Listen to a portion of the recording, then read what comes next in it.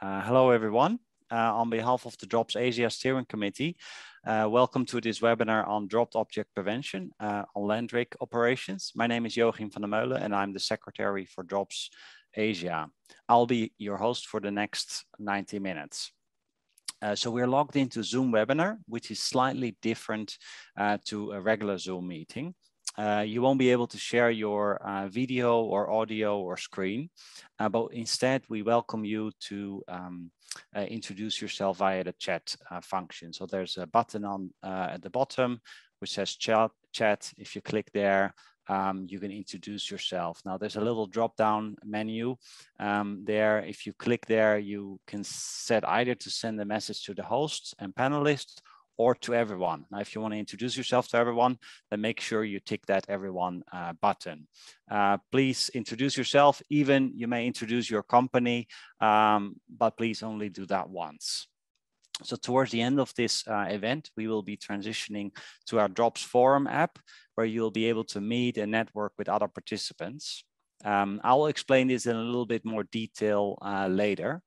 Um, and um, I would like to remind everyone that this webinar is recorded and will be posted on our YouTube channel. And we may also use parts uh, in our so social media channels. Uh, so we have really a good uh, turnout. I think 160 people already, and, and the number is still uh, rapidly increasing. Uh, we also have great uh, interest from new audience on, on top of uh, our existing audience, so like companies like ONGC, uh, ADNOC, um, and Saudi Aramco, uh, a warm welcome if this is your first time. And of course, a warm welcome to everyone else as well. So for today's session, we have a very experienced professional, Kenny Adams, uh, who is the Quality, Health, Safety, Security, Environment and Training Manager for KCA Deutag Land uh, Drilling Operations. Um, obviously, we have a lot of uh, land rigs also in Asia, um, and uh, Kenny is in Dubai. But but frankly, you know, KCA Deutag has been so much involved with the drops chapter that you know, for us when we think of this, um, yeah, he's kind of the person I, I think of. But I know that there's many other people who are also very experienced with this. But um, this case, we invite uh, uh, Kenny. So um, we also have Alan Smith, who is our DROPS global uh, trainer uh, and facilitator, and he may be answering a lot of questions generic to DROPS, which you may have. Um, we have William Lai, who is the uh, QHSE manager for Baker Hughes um, uh, in Asia, and he will be facilitating uh, the Q&A uh, session uh, after. Before I invite him to introduce how that works, um, I would like to give a quick thanks to our sponsors uh, here, Stop Drop Tooling, uh, DropSafe, and, and Access Group. Um, so yeah, William, if you could please explain how the Q&A session works and then hand it over to, to Kenny. Thank you, Joachim. Thank you very much. And a big warm welcome to all the people who called in today and joined us. And, uh, and uh, it is great that uh, we have so many people on the call here today. Well, so, so after Kenny's presentation, uh, we're gonna have a Q&A for sure. And what you can do and is go to the little icon below and it says Q&A. That is where you're supposed to type in your questions. So if you have any questions that you would like to ask um, Kenny or Alan, feel free to type in a question there and then I'll pick it up and uh, I'll make sure that uh, I'll get uh, the panelists to, to help to, um, to maybe shed some lights to their questions. Um, and that basically it, very easy, just uh, on the Q&A part, okay? Well, uh, if there's uh, no more to do, I'll just pass the session uh, to our great Mr. Kenny Adams. Kenny, over to you. Okay, thanks, William, and uh, good morning and good afternoon, everyone. It's great to see a, a worldwide audience. Um, and as I said, good morning. Hope everybody's staying safe, um, staying happy and healthy. Um, I'm going to go through a presentation um, we developed just to give you an overview of what we do within KCA Deutag within the land division. Um, we've got just over 78 land rigs and we've got just over 50 operating at the moment.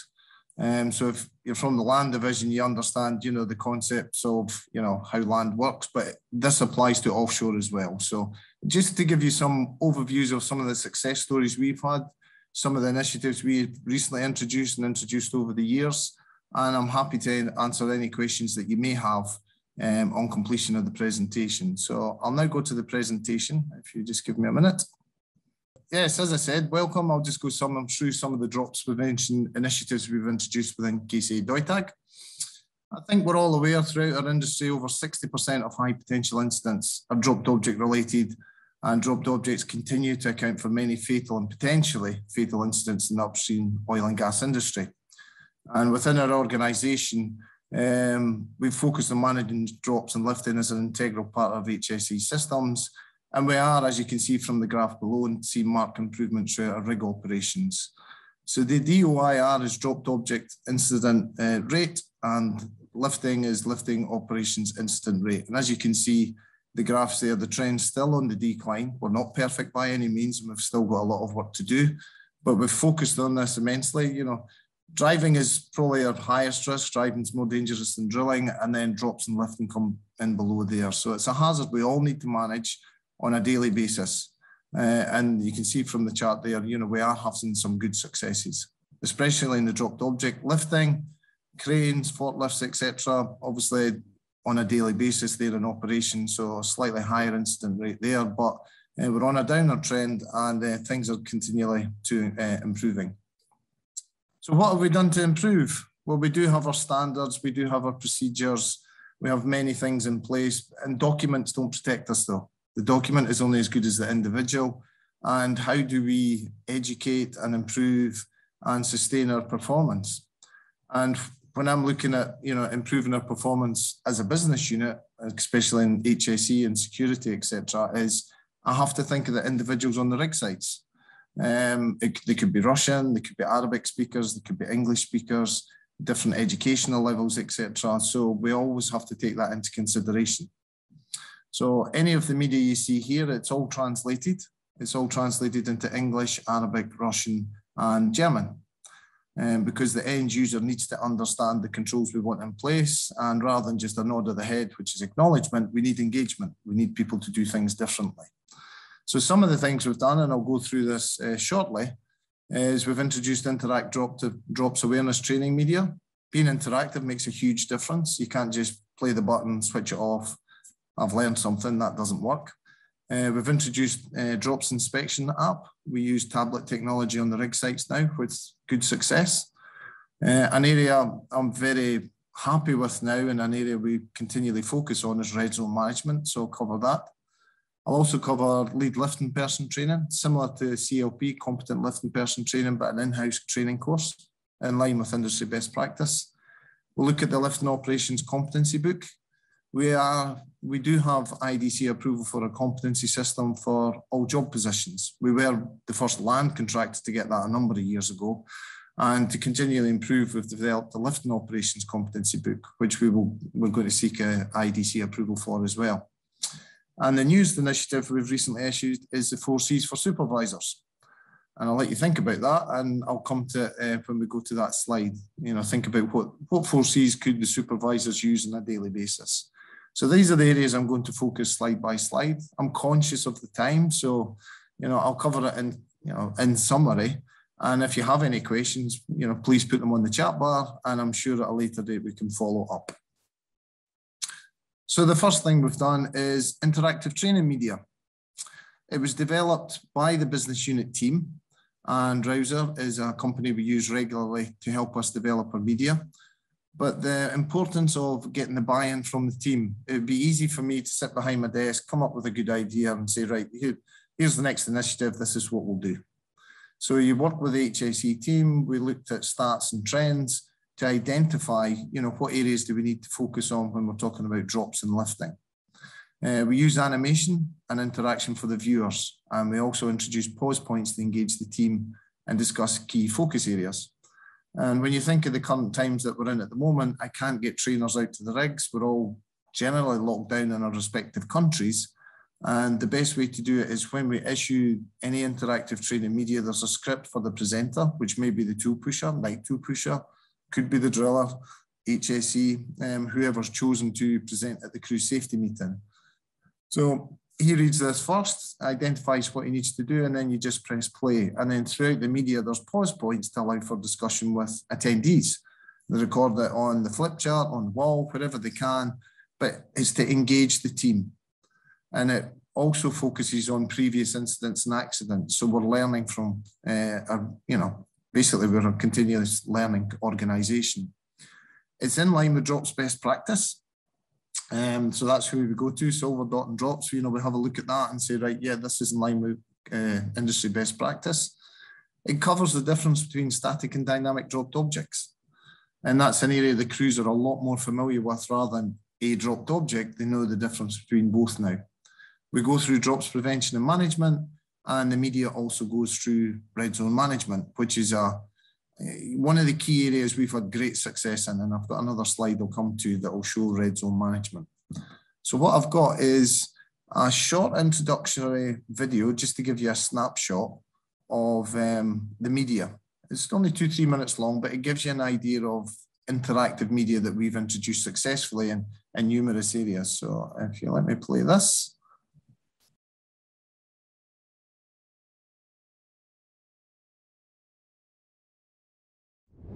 Hello and welcome to this DROPS training video. So, how big is the problem? Well, the UK HSE categorised dropped objects, referred to as struck by incidents, as the third highest causes of injuries and fatalities across industry. In the USA, 50,000 struck by falling object incidents are recorded by OSHA every year. That's one injury caused by a dropped object every 10 minutes. Closer to our industry, the Drops online forum has no shortage of case studies showing real incidents, as seen here. In fact, throughout our industry, over 60% or more of all high potential incidents are dropped object related, and they continue to account for many fatal and potentially fatal incidents in our industry. Statistics show that around 30% of all dropped object incidents are related to design, technical or mechanical issues, but almost half can be attributed to human factors. As a group, see if you can list potential causes of a dropped object. A hazard, hazard identification, is a technique for the early identification of potential hazards and threats affecting people, the environment, assets, or reputation. Once we've identified the hazards with the hazard, the DROPS calculator, shown here, is a simple yet effective tool to help us quantify the risk. Let's use the DROPS calculator for a scenario. Let's assume that an item of 4 kilograms is dropped from 10 meters. Here you can see that by using the calculator that this has the potential to cause a fatality. One method to help identify the size of the drop zone is the cone of exposure, as seen here. The cone usually gets bigger the higher the load. Winds, slopes, load weight, and load center of gravity will affect the shape of the cone. Signs and barriers are a simple yet effective procedural control. Signs and barriers are used in conjunction with zone management procedures. When we're setting up signs and barriers, it's important that we consider the bounce for dropped objects. The cone of exposure can also support us with this.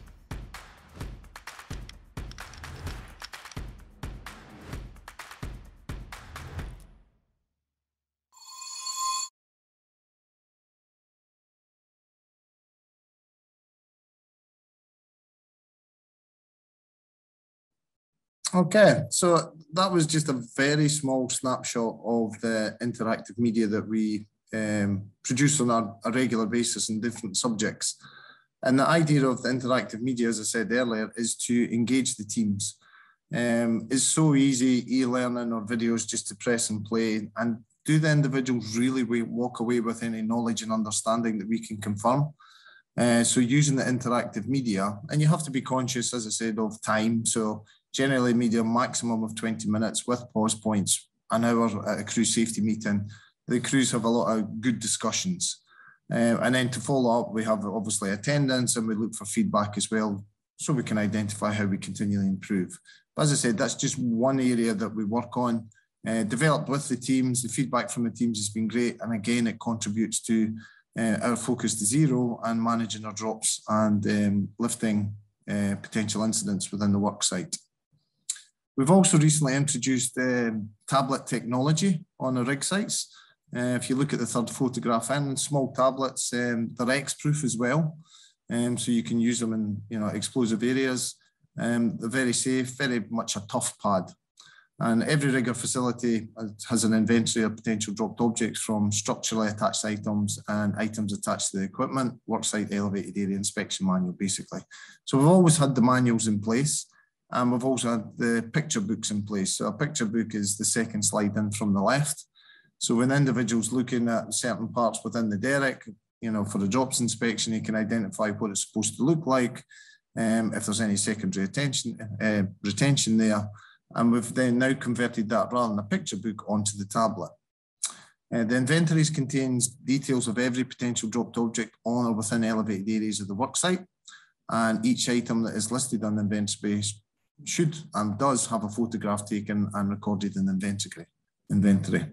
The photographs will also be used for the drops inspection check sheets, uh, which we use for periodical inspection. So we check each zone or area, you know, at least once a week. The new drops app, it removes the paperwork and ensures the details are available. We can put it in the action tracker, which is electronic as well. And the positive bit for me is it allows me to remotely review and verify things are getting done. So from my desktop uh, within the office, or if I'm working from home, I can access the system, go in and have a look and feedback at the same time.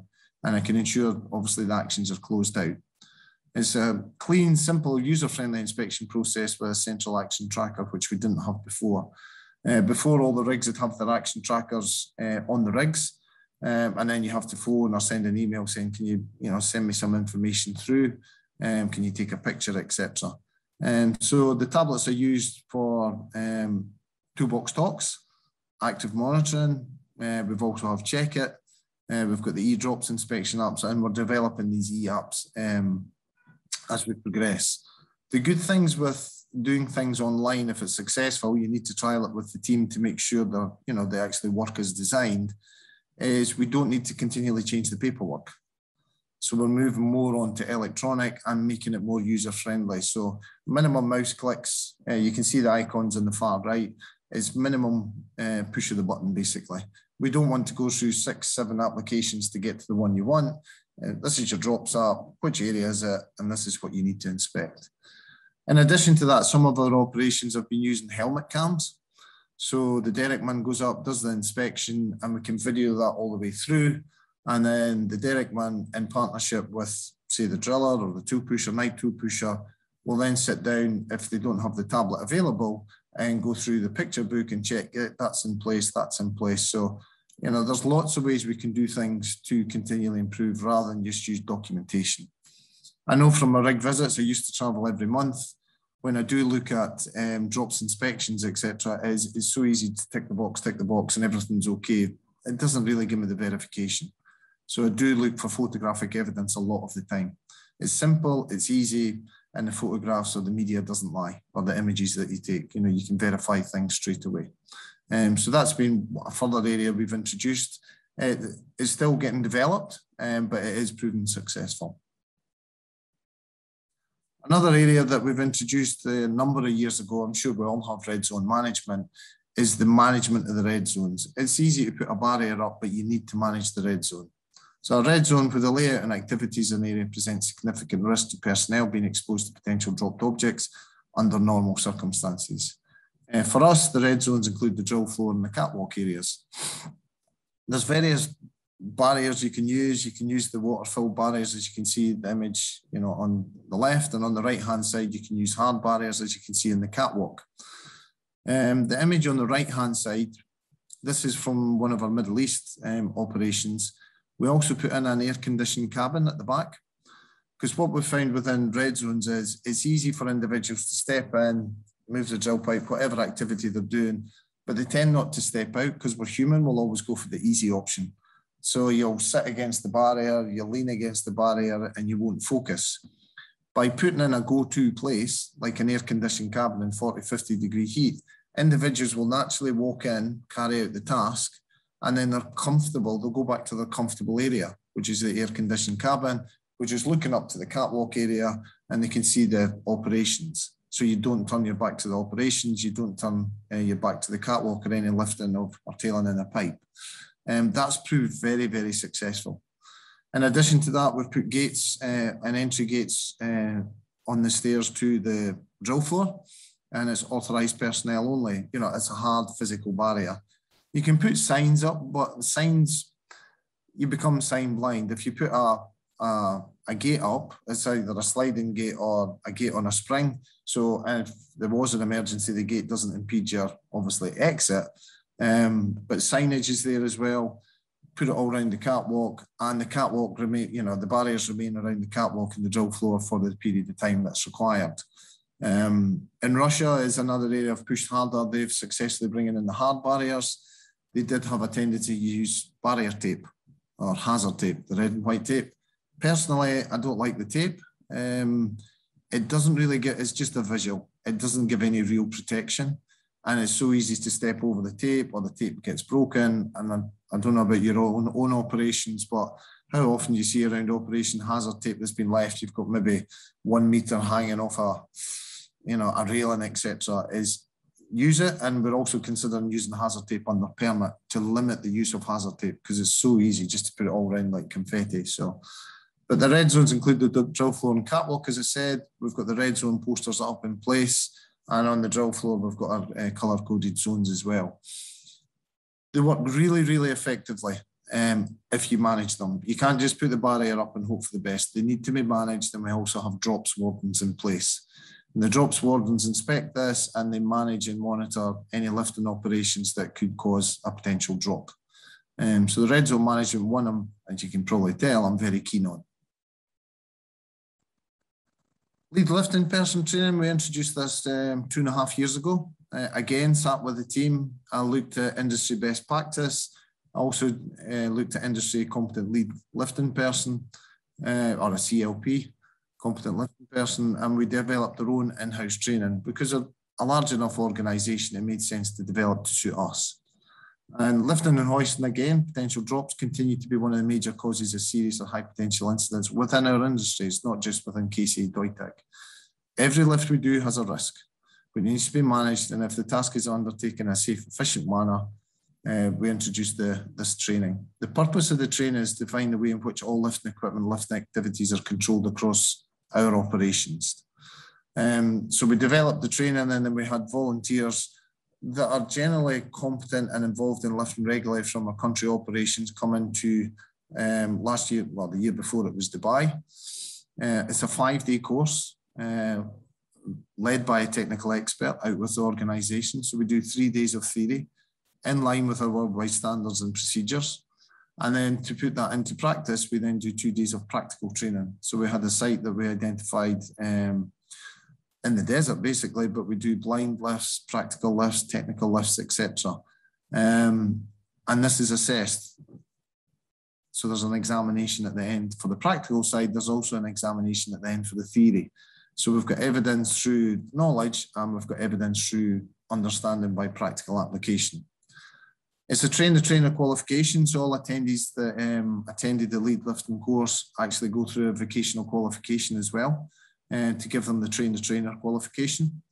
And it covers the 20 key lifting objectives we identified we need to focus on. And we also developed the global competency logbook for lifting operations, which I'll come on to there. Um, as you can see, you know, course content, 20 key areas. We have the golden rules for lifting and we have introduced our global competency logbook, um, which again, our competency system was developed in partnership with the crews. It's simple, it's easy to use, and I'll, I'll come to that uh, shortly.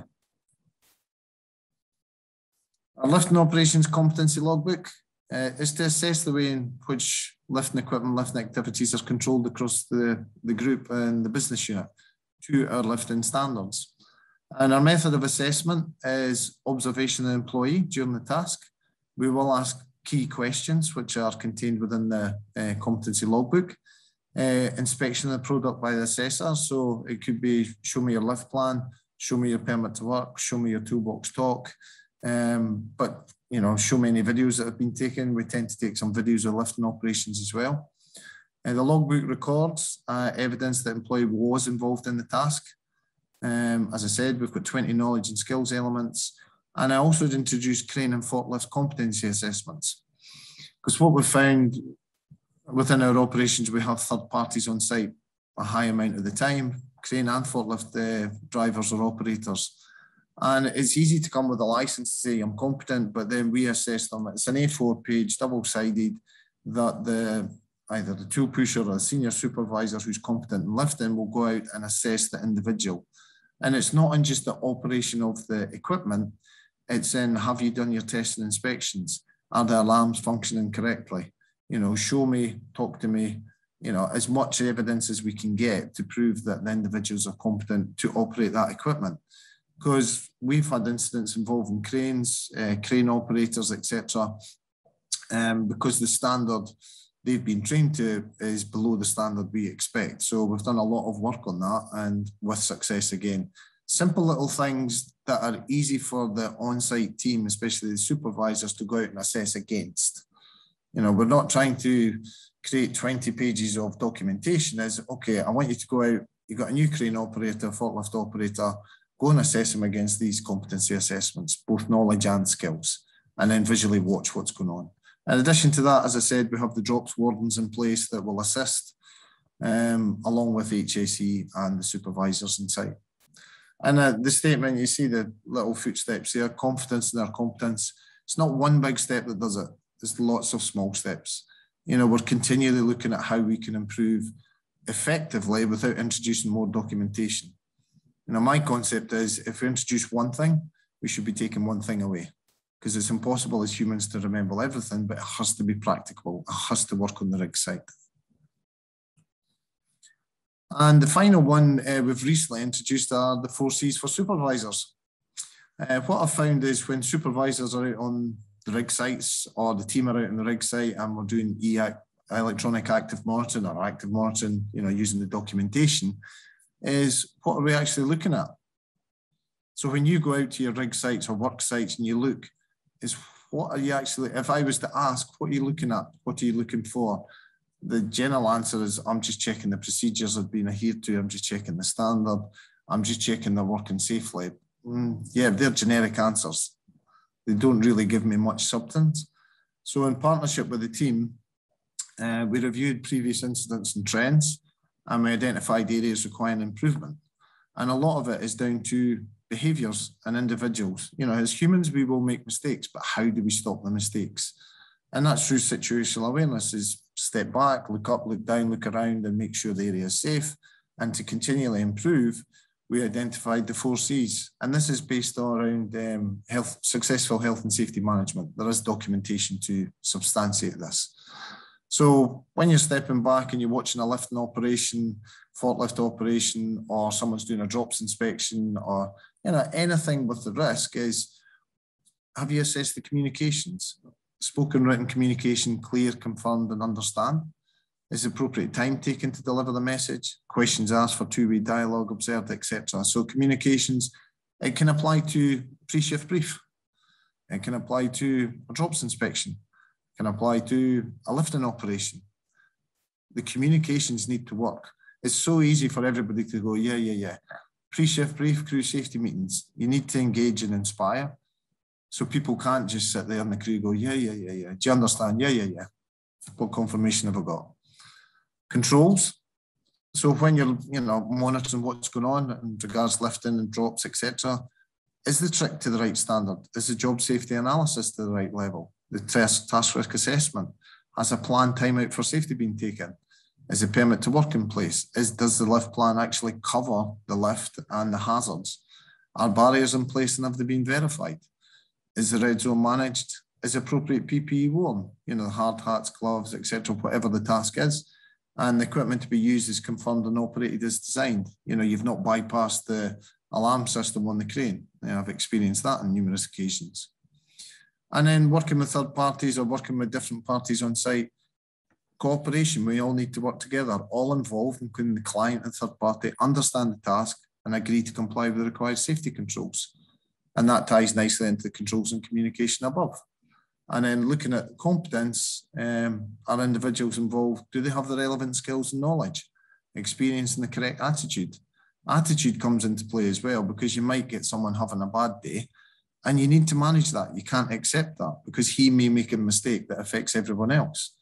So it all ties in, you know, to any task that we're carrying out. And as I said, we, we're using this for active monitoring to continually improve, focusing on the four C's, but this applies just as much to lifting operations, just applies just as much to drops, doing the inspections, etc. Even if it's an, an inspection, whoever's been assigned the inspection, you know, has he got the logbook? Does he have the tablet? Does he know how to use it?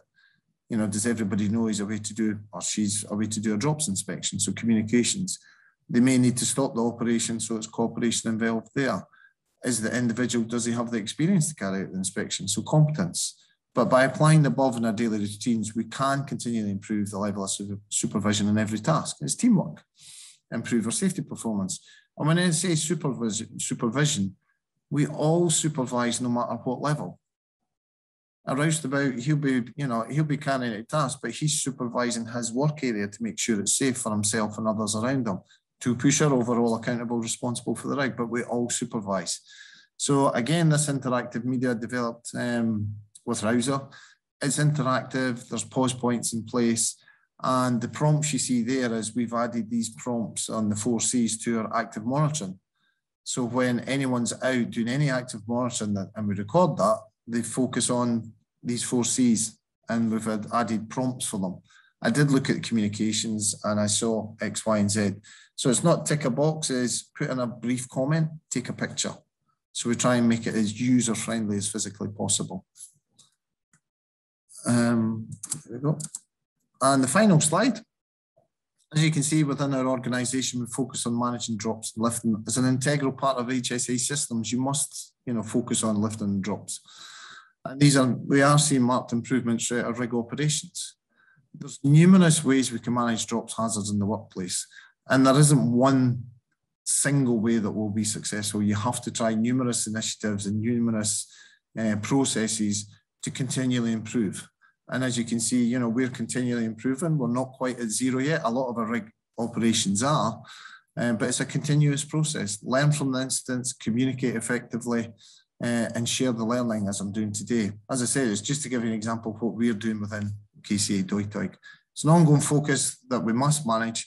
And I think we all want to achieve the same in all our operations is our drive to zero, zero incidents, zero accidents. Okay, so thank you very much for your time and giving me the opportunity to present. Thank you very much, uh, Kenny. Uh, that was uh, certainly a very interesting uh, presentation, and I think uh, so. There's a lot of uh, discussion going on in the um, in the chat box. Um, a lot of people commenting, agreeing with you, asking questions. And about the questions, I would like to ask if you'd like them answered, please use the Q&A um, uh, button because it's, it's really hard for us to scroll through all the chat and, and, and, pick up the, the questions. So please post them there and it will be uh, easier for William uh, to address them uh, and answer. Uh, together with Kellen, uh, Kenny and Alan. Um, the videos that Kenny uh, showed, uh, some of them are available on our uh, YouTube channel. We just posted them um, this morning. I will post the link in, in the chat uh, shortly as well. So um, after the Q&A session, we'll be transitioning to our virtual networking reception. Uh, this will be outside uh, Zoom. Um, and if you've not already done so, please navigate to dropsvr.org slash apps and download one of these um, apps. If you're on a personal uh, PC, um, I recommend you use the Windows uh, app. But if you're like on a corporate uh, PC, you're not able to install uh, apps, then, then use the Android Android or iOS app. Um, so after installing, uh, you may log in uh, using your uh, iOS account, um, a Google account, or LinkedIn account. Um, and then you'll be able to navigate uh, the virtual uh, environment with, with an avatar. And then you kind of walk up to another table um, and you can talk to, to other people. It's as easy as that. Uh, no, honestly, it's it it's not super simple. Uh, it is. Um, it takes a little bit more effort than perhaps uh, Zoom, but it's really uh, quite an engaging way to to communicate with others, and and you know it gives you an opportunity to meet with others. While you've been listening to us, here's an opportunity to meet with others, meet with Kenny, meet with William, meet with Alan, uh, and have a chat with them, and of course meet with the other participants. So um, yeah, collaborate, share, and learn. So um, I'd like to express my thanks to uh, the sponsors uh, once again. Um, so uh, DropSafe um, is, is one of our sponsors. They create solutions to prevent uh, dropped objects falling from height. They're quite well known for their safety nets um, and barricades and, and, a few other products uh, and are widely used throughout the oil and gas industry. Uh, Stop Drop Tooling uh, they provide a complete engineered solution for working at height with tools. Uh, so for land rig operations, they have these dedicated land rigs, but they can also customize this to your, to your needs. So Access Group uh, provide a range of inspection services, including drops, as well as digital solutions to manage uh, dropped object prevention. Uh, you will find their presentation on our YouTube site uh, as well. So um, let me just stop sharing for a second. Uh, yeah. Uh, stop share. There we go. Um, so of course you could reach out to uh, to the sponsor via their um, website, and they're on the call as well. Um, but uh, in case uh, you would like them to reach out to you directly, I've just put up a poll. Um, and if you'd like to share your contact details with them, just tick the box uh, next to it, and then uh, I will share your contact details with them, uh, and they will reach out to you. Um, Okay, so now this um, commercial intermission is complete. We'll be moving on to the Q&A session. Um, we'll be broadcasting the audio uh, into our Drops Forum app. Um, so if you don't have any questions, you could move there and just listen to the audio there until that session ends and then join the networking. Uh, but if you do have questions yourself, uh, please stick around uh, here uh, a bit. Um, okay, in the meantime, I see lots of people uh, answering the polls. So just a, just a heads up, um, it will be probably a while before uh, they can answer you because there's a lot of people responding. Um, but in the meantime, you can still answer. And um, then, uh, William, uh, the floor is yours. Right. Thanks a lot, Joachim. Lots of information, lots of questions coming in through the chat, and uh, we welcome that. Uh, so, so, but before I pass and ask a few questions to Kenny, because there are some questions that's going to Kenny, I'll, I'll just like to pose one question to Alan over here. And if Alan, you can help us here. Uh, just if someone in our audience is really new to drops and would like to know and run their own campaign over here, you know, maybe you can share with us how they should start. Certainly, yeah. I mean, hopefully uh, everybody picked up on a few points that Kenny made. That basically every every task um, there's a consideration for, for drops. So there's first thing everybody needs to be assured of is through drops through the industry initiative. There's lots of support. The best way to access that is to go onto the website. But I realise that's that can be quite daunting. So what I, what I want to do is just share my screen if that's okay. Hopefully um, you can see the drops website. Um, of course, I get the opportunity every time to thank all of the supporters of Drops. That's hence all the logos along the bottom. But simply go straight into the resources and guidance part. Um, and within there, you will see those same graphics that you saw in Kenny's um, presentation. A slightly different arrangement, but the top left one, the recommended practice document, I would always urge everybody to go straight there. It's uh, it's where you should really start. You, you want to make this commitment towards drops, you've really got to make this part of your safety management system. So the key elements are all there. Um, you can click on this and it takes you straight to a download and that download will look like this. Now, I would urge you, next step, have a look at the contents. So you can actually bring up the contents down the side here, and that gives you an idea of just how many different areas you need to cover. Um, many of those Kenny's already given you a summary of. It was all again part of the key key elements of the of the of the system. Um, but the key parts, if you open this one up here, we've got the um, the very first page of section 2.1. This gives you a good idea of what you should find in your management system.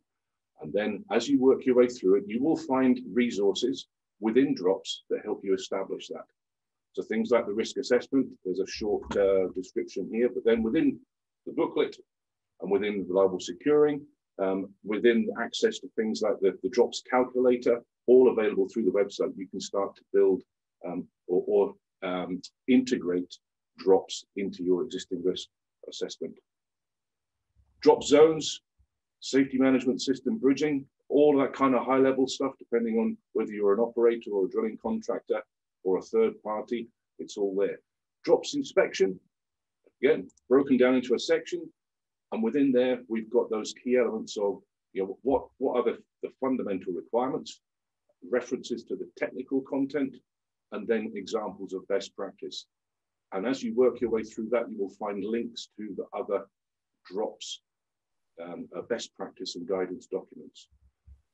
But again, it's important to think we've got the, you know, the independent drops inspection requirement, we've got the systematic drops inspection requirement, we've got the worksite hazard management, um, like visual inspections. So it doesn't matter where you work, even down to transportation and, and uh, uh, of equipment and loads, there's still an element of drops inspection there. So you start to realize just how broad this subject can be. Um, and then, of course, the hazard management section. And here you have all of the components that you need. I'm not going to go through all of them here, but things like reliable securing, good reference book there. That links to a PDF download. Um, how does this translate or, or how does this uh, compare to what others are doing?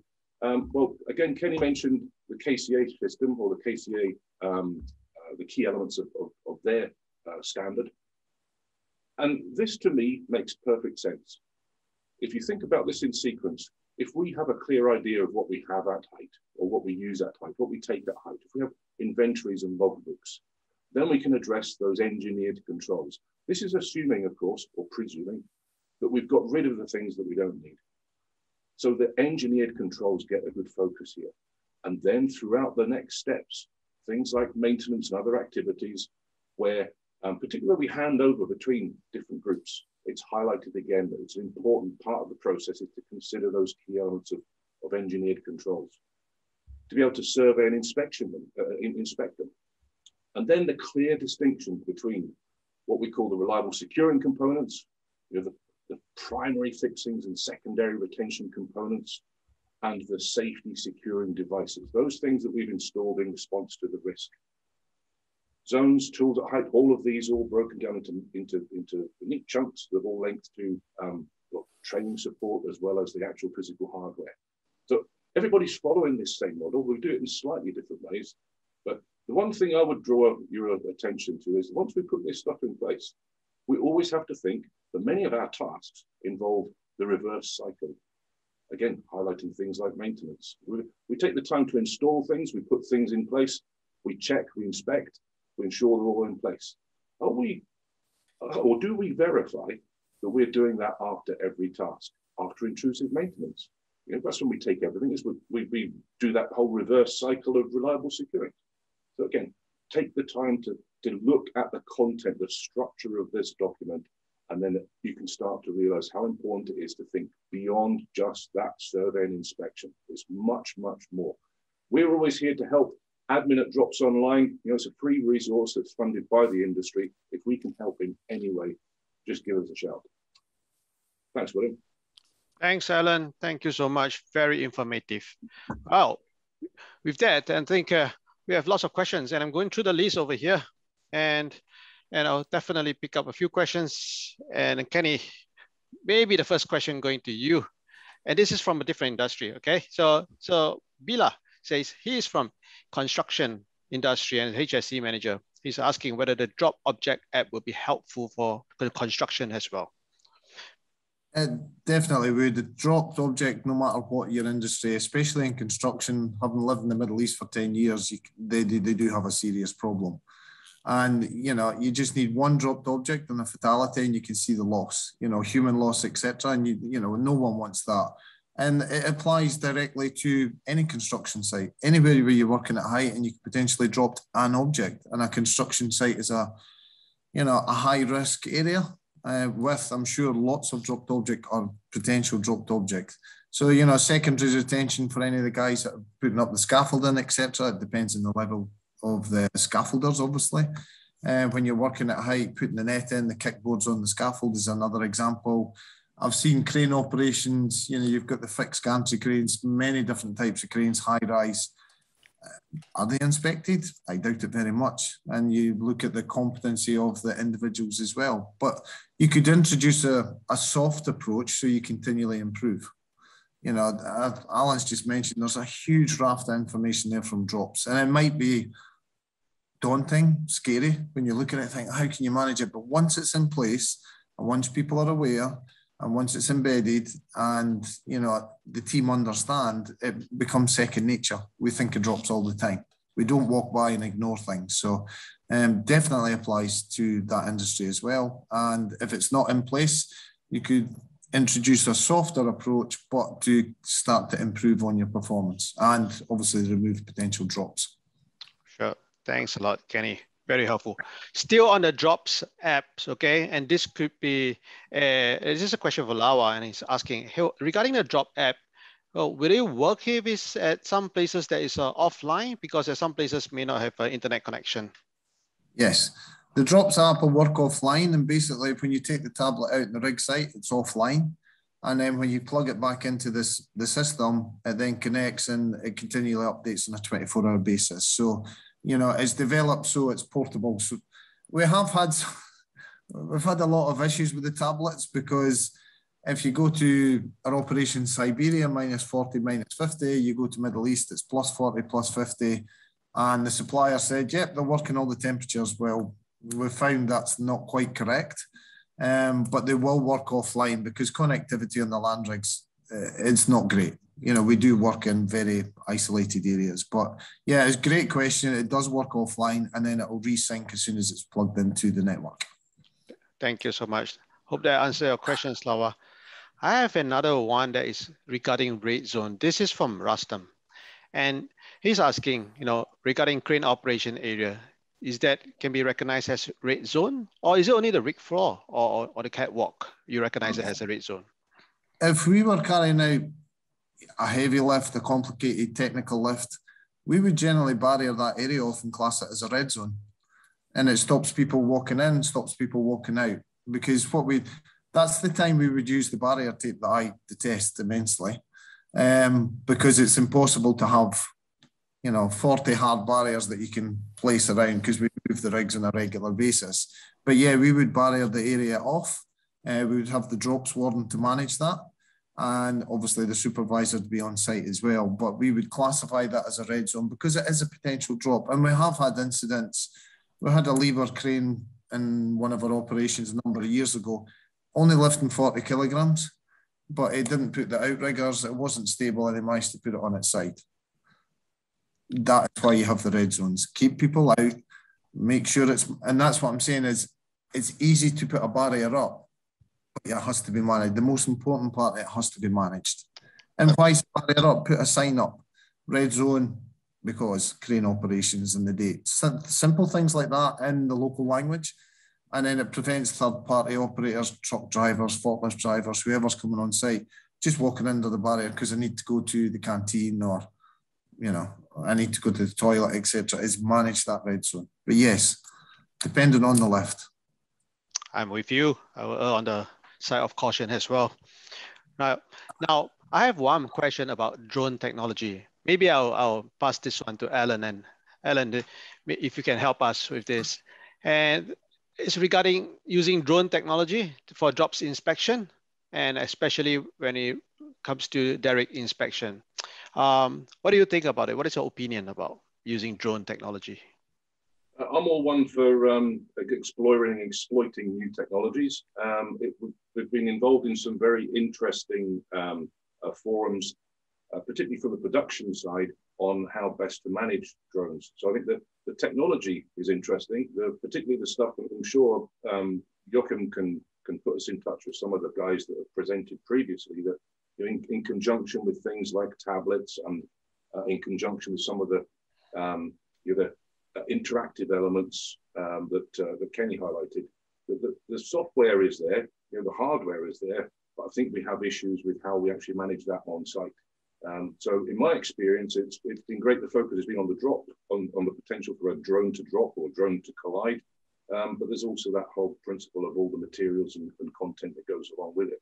Um, when it comes to uh, the physical management, I would always urge you know, everybody to, to consider the fact that there are already systematic controls in place that manage anything that flies in or around you know, um, a, you know, a, classified installation or anywhere where we always already have those kind of uh, key zones in place. Um, the, you know, there will be corporate documentation that will help you determine whether or not drones are, are suitable. But the technology, and Joe, I'm pretty sure you'll, you'll uh, confirm the technology is, is fantastic, particularly the artificial intelligence side of it. Exactly, exactly. Yeah, that the artificial intelligence sounds very uh, interesting wh where that is going, and and I definitely like to see if we can organize a webinar just talking about that that topic, and uh, we can talk about that quite a while. And, and there's some really great great developments going on. But uh, back to you, William. Sure. okay, so I have another question, and, and this is definitely this is definitely a a question uh, coming out from the presentation Kenny did just now. So Isaac asked, you know, what are the challenges in ensuring the assurance or effectiveness of those initiatives that uh, you guys have put in place? I think the assurance, it's the verification. You know, when we develop any of our initiatives, it's not someone sat behind a desk. We develop it with the rig site teams. We'll come up with a concept there'll be a number of country operations involved as well. So, you know, if you look to Oman, huge, you know, we've got a large rig operation there, 18 plus rigs, Russia, 16 plus rigs, but we take everybody into account. So we develop it, I'll come up with a concept, we'll have a small working group, and then we'll trial things first on rig sites to get the feedback. Does this actually work? Does this improve or does this, you know, cause a frustration basically? So it's making sure the end user sees the benefit for the improvement on our drive to zero. You know, it's not, I've looked at so many different organizations and, you know, oh, we've got this e-learning, we can do this for you, can do that for you. Yeah, that's systems, but we're people. You know, you have to think of the human. And I'm very much mindset of, does the end user on the rig site understand what we're trying to do? Does the roustabout that's sitting in the middle of the desert or middle of Siberia or in Iraq and Kurdistan in the mountains where it's you know cold in the winter and warm in the summer. Does he really understand what we need to do here? So it's keeping it simple but making it effective. And I, I look at my role as to take out all the the technical part and take out all the legislative parts. So when it gets to the rig site, the guys pick it up and think, oh, I get that. I understand that. That's not going to be difficult. I can do that without adding to their day you know, it's like if you speak to a tool pusher, generally, tool pushers are fantastic. You know, they run the rig, but they always complain about the paperwork. But if you have a competent crew and you had a perfect crew, and these are questions I asked them, I said, well, you've got, a, if you had a really 100% competent crew, you wouldn't be so busy. So, but it's your role and, you know, to make sure everybody's competent. And it's just encouraging it both ways from bottom up and top down, you know, to have a team environment but I think you have to trial and test it to make sure it, it meets the needs of the organisation, but at the same time, it's it's practicable on the rig site. Because I've seen so many organisations try and introduce things that won't work. Or we have a competency online system. Yeah, if you've got connectivity. You can't get online, what's the point? You can't, and not everybody's got a log on account. And at the end of shift, you do you really want to log on and put in your portfolio? No, let's make it easier. Our competency system all our supervisors are trained as assessors. But if I asked as an example is, give me a definition of competence, I'm sure everybody in the call, I'd probably get X amount of different answers. So we've got a competency assessor DVD, a competency DVD that explains competencies, someone who's got the skills, experience, attitude, and knowledge. That's competence. And then we have a supervisor's uh, DVD for assessment in the workplace, which is interactive. And then we, for others, we have verifiers in place. You know, it's, it's a stepping stone process to make sure things work. But no, it's, it's a really good question. And I'm not saying ours is perfect, but you have to listen to the teams. Absolutely. Yeah. Engage, engaging people, you know, and and seek solutions, right? So so that's good. And and with that, with that answer that you have provided, and probably this question is for you know uh, Alan and Joachim as well, and you probably heard it before. This is from Dave Taylor, and it, he asked Shell and, and in the UK had a great program. It's called Let's Lift Less, right? So, well, if you don't lift it, you can't drop it. So uh, maybe if if a, if maybe let's begin with a Alan first, if you can help. What do you what have you been seeing the industry doing with that thought process uh, with this program? Um, I have experience of, of that, and it's one of those things that um, you know it's, it's a fantastic concept to think. Well, if if we can get back to the start and actually think about changing the way that we work and understanding every element that affects how we work, the understanding of you know, is what we do, um, you know, does that actually reflect what we expect should be done? And coming up with those simple solutions, which is great. But then if you think about the, how the humans then perform with that new role, um, the other pressures, which we forget about, are um, the pressures that would help um, you know, remove the requirement for lifting. We now bring in other pressures, whether it be financial or, or changing the, the, the way in which we do the task, which results in more lifting. Um, I mean, one of the examples being like a, an environmental performance uh, requirement to reduce the amount of, say, mud being transferred to um, by, by vessel and the exposure to general public, etc., etc., is to treat as much as we can on board, results in more lifting. So it's it's like a, an interesting concept, but it, it's one of those things that's highlighted the fact that to do that, you need, need to take the take the business apart and start to understand that when you do make these kind of changes, as, as simple and as smart as they may, may seem, that the other changes probably need to be made too. Um, but the key principle in the hierarchy of control, and it's a key principle of drops, is if we don't need to do it, don't do it. We don't need to take it up there. We don't need to go up there. It's that same principles of work at height. If we can eliminate what we do and start thinking about different ways of working, then we can start to uh, to really uh, really appreciate what we have when it comes to engineered controls. Um, so yeah, I think it's a great program. I wish I'd seen more of it. Thanks, Alan. Hey, I'm cautious of the time, and and probably and I, I think we have to wrap it up from the with the last question over here, and and this is a question. Uh, if Joachim can help us, you know, with this. So Paul Kara asks, is the drops picture book digital? And and uh, if yes, uh, what is the device to be used uh, on drops picture book? Okay, so so kind of the the if you're referring to the picture book that you're kind of using to do internal uh, inspections, um, yeah, I mean it was originally designed as a kind of a Word document, and then that's printed, and then people use it as a paper booklet. But most people uh, use digital solutions for that, uh, you know, and and they're in various stages of digitalization, right? Some people simply take that book, they, that hard copy, and put it on their tablets and some companies do uh, have it completely integrated into their management system. And we kind of saw that in our last webinar when when access uh, presented that. And and you know but there's other companies that have also developed this this kind of in-house. So this is kind of yeah uh, transitioning. But I, I would say yeah if you're still using uh, a paper copy uh, and carrying that up um, yeah it's it's time to upgrade to something uh, digital Hearing that from the Mr. Digital over here, Joachim.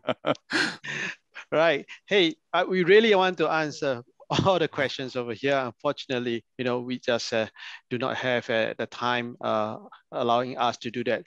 Um, but, but, please continue to, to feel free to chat and, and we all will be happy to continue to have the conversation and all this conversation is going to be helpful for us going forward uh, as an industry and as a drops community. Exactly. Um, with that, uh, I pass it back to you, Joachim. Yeah. Yeah, thanks. So yeah, I, I see the questions are, are, are coming in faster than than we can answer them. So it's uh yeah uh, we we can't uh, we can't keep on going. But what I'll suggest is um, we we have a copy of all the questions. We'll review that, and I'll, I'll reach out to you, Kenny and and Alan, and see whether we can answer some of these questions uh, offline, and then we'll add them to the uh, minutes of the meetings, which will then be distributed um, th through our uh, newsletter. And if you've attended this event um, and registered, then, then you should be receiving that uh, as well. And you can look out for it on, on our social media uh, channels as well. Um, yeah, so with that, um, I, you know, I'd like to invite you to to join us in the in the virtual networking reception, and um, well, um, look looking forward to chat with you there. Um, before we go, um, Kenny, would you say like to say any last words? No, just thank you for all the questions. Um, I will try and answer, you know, when we can once we get them all together. Um, and uh, as I said, is it's just trying different methods and different processes. And line with industry best practice. You know what will fit your organisation, but sometimes they have to be a little bit different. If you do the same, you get the same. So sometimes we always we all need to do something different to continually improve. But no, thanks for dialing in, and I hope everybody enjoyed it. And uh, yeah, stay safe. Excellent, excellent, and Alan as well. Uh, so, so Alan, you know, sp spent some time asking, answering some excellent questions. Um, he does a, a train the trainer uh, course online, uh, which you'll find on the same website as as he presented, and that's kind of a really good one day uh, kind of in-depth depth immersion into into everything uh, dropped object prevention so um, you know if you're if you're overloaded and you're kind of new starting, you know, that's a good good place to start to learn all about um, uh, drops. And you can reach out to to Alan uh, for that. Uh, and Alan, any any last words? Uh, no, just please explore the website. Um, a couple of things that I should have said um, was that uh, within that um, recommended practice document, there are links to a gap assessment or a gap analysis, and just again an Excel file, which again is another way of kind of promoting what what Kenny has been saying is that you take the time to really think how each of those elements is is is landing at the work site uh, um, and, and how you know how everybody's managing to work with it. Um, when it comes to cone of exposure, I would ex uh, the the, uh, the, the principles of, of considerations behind deflections. Remember the new calculator. So go to the website, go to Drops Calculator, and you will see a new um, deflection or, or zone calculator. Again, it's not recommending that that's what you use to determine where your barriers go. Our recommendation is, is so that you can all start to realize that um, you know, gravity is a hazard. We need to understand it. And when it comes to deflections, there's a science behind that too, that we should be refocusing our minds on elimination, substitution, and good controls at the worksite. So thanks, everybody. We're always here to help. All right. See you at the virtual networking reception. Thank you. Bye-bye. guys. Thank, Thank you. you. Bye-bye. Thank you, Owen.